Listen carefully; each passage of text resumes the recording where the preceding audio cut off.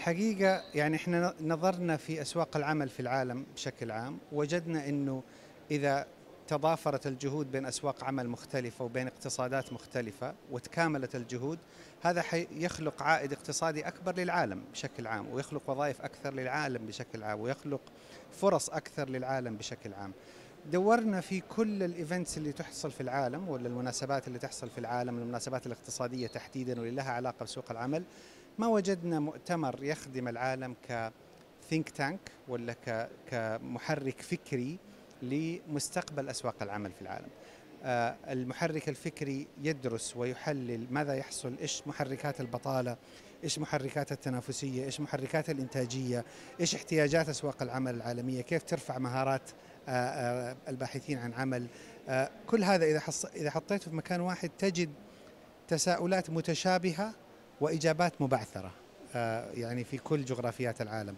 فتم اتخاذ القرار إنه يكون فيه مؤتمر يجمع بين كل هذه العقول وكل هذه الأفكار وكل هذول الاقتصاديين والمشرعين ومحركين محركين الاقتصادات والأسواق العمل في العالم وأصحاب القرار من من العاملين ومن أصحاب العمل ومن الجهات الحكومية إذا كانوا في مكان واحد راح يفكروا بطريقة متكاملة أكثر ولما درسنا إيش اللي موجود في العالم وجدنا إنه هذا حيكون شيء آه، متفرد ويونيك ويخدم كأنه المنتدى الاقتصادي الدولي متخصصا في أسواق العمل العالمية.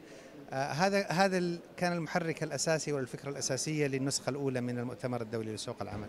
ما دور اليوم التقنية في سوق العمل وفي التوظيف؟ واحد من الأسئلة اللي سألناها لأنفسنا في البدايات ليش هذا المؤتمر في السعودية؟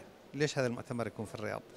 آه لما راجعنا ما حصل في أسواق العمل أو في سوق العمل السعودي خلال الأربع والخمس سنوات الماضية أعطيك بالأرقام أشياء بسيطة جدا. انخفض معدل البطالة في المملكة من 12% آه، في 2019 يعني قبل الجائحة إلى 8% اليوم 8.3% unemployment. طبعا خلال فترة الجائحة ارتفع إلى 15% والآن انخفض إلى 8.3% هذا الانخفاض إذا قارنته بمعدلات وقت الجائحة فهو انخفاض 40% في معدلات البطالة. إذا قارنتم بما قبل الجائحة فهو بين ال 25 إلى 30% انخفاض. انخفاض بهذا الحجم في البطالة ما حصل قبل كده في كثير إذا ما كان في كل أسواق العالم. هذا السبب الأول اللي سألنا اللي وجدنا إجابة أنه فيه فورميلا معينة في سوق العمل السعودي تدعو إلى أنه إحنا نشرك هذه التجربة ونتحدث عن هذه التجربة ونقوم ونعدل هذه التجربة في التعامل مع تحديات أسواق العمل في العالم.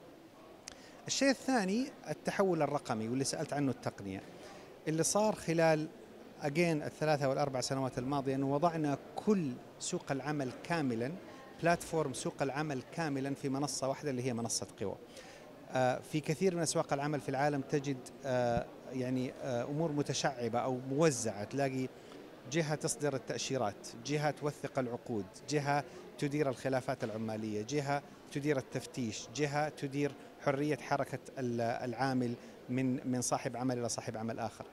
اللي سويناه في المملكة الله يسلمك إنه في منصة قوى كاملنا كل خطوات أو كل ما يتعلق بسوق العمل في منصة واحدة من الإذن بالحصول على تأشيرة إلى التحقق من مهارة العامل إلى إصدار التأشيرة إلى توثيق التعاقد بين العامل وصاحب العمل إلى التفتيش الذكي والتفتيش الموجه والتفتيش الذاتي والتفتيش الإلكتروني إلى آه، حرية حركة العمالة أو حرية تنقل العمالة إلى آه، إنهاء العلاقة التعاقدية إلى حماية الأجور.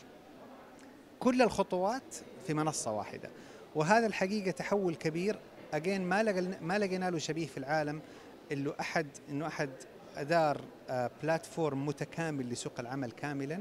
في منصة واحدة هذا يفتح آفاق كبيرة جدا لقراءة هذه البيانات وتحليل هذه البيانات والطلوع بقرارات وتوجهات واقتراحات للتحسين مبنية على اكشوال آه، ديتا موجودة في في هذه المنصة.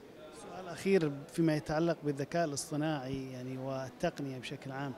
كيف تستخ... يعني استخداماتها في هذا الجانب سواء في موضوع التوظيف أو في موضوع تحليل البيانات وأيضا يعني إيش نتوقع بالفترة الجاية من حيث مثلا التوظيف بالمملكة؟ تركزون على قطاعات معينة؟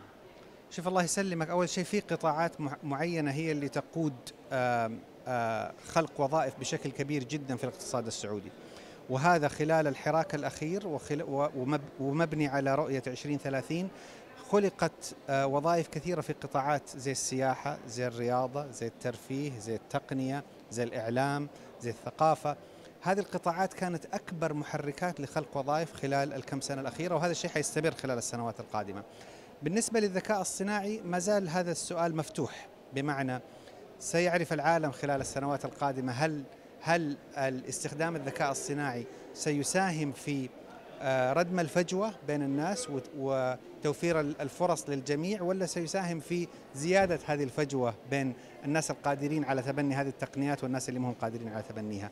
لكن هذا من أحد أهم نقاشات المؤتمر واللي على أساسه أكثر من جلسة ستناقش كيف يمكن استغلال الذكاء الصناعي بالشكل الأمثل لخلق قيمة اقتصادية كبيرة تعود بمردود على الاقتصادات وعلى الأعمال وعلى الأفراد.